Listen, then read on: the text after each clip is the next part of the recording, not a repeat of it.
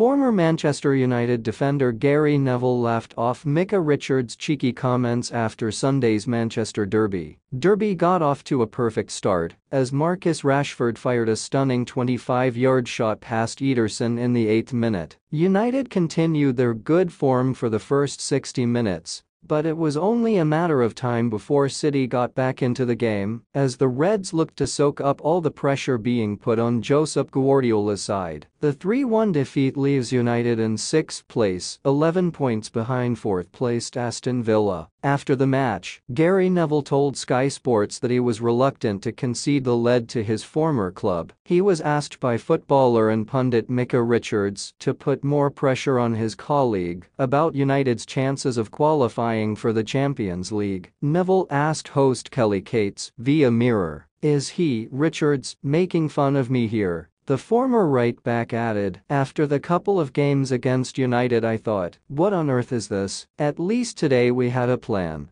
And there was great attention to detail in how we defended. I found out that there is, he added. I think I can relate to them more now in terms of what they look like, because sometimes in the last few weeks I've been like, what are they doing? Where is everyone? Neville was also joined in the studio by Roy Keane, who gave a different take on the 192nd Manchester Derby. The former Republic of Ireland international claimed that accepting such a performance and result proved that United's standards had fallen. But standards have fallen here, Keane said. You almost praise them, but they lost. The reason you're at Manchester United is to do well in big games and play against Man City and Liverpool. But that's not the case. We keep sitting here saying, I thought they did well, they're getting better. They lost 3-1 and for the last 30 minutes they just held on. I couldn't make a kick. The Irishman was also asked about United's four best chances. He replied, If you look at the season as a whole, every moment counts for this team. Once you invest the money and quality they have, it feels like you need more. In the games we have watched over the past few months, we have never seen such a consistent performance. We have always said about Man United that they want a result. At some point it catches up with us. We need more for Manchester United and the bigger picture. Alright guys thanks for watching. Please subscribe for the latest Manchester United news.